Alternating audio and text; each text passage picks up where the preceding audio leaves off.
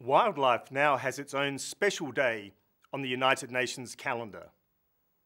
On the 3rd of March, we will, for the first time ever, celebrate World Wildlife Day.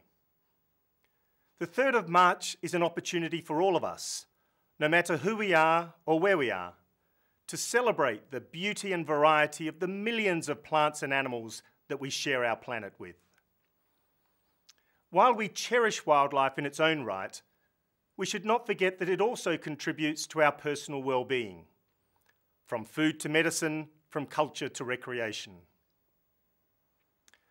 But today our wildlife is suffering from habitat loss as well as a grave threat from illegal trade, which is worth many billions of dollars every year.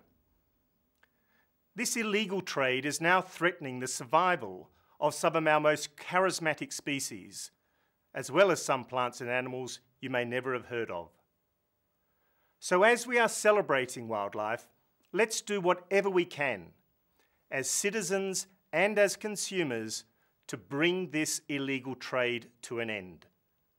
Let's work for a future where people and wildlife coexist in harmony.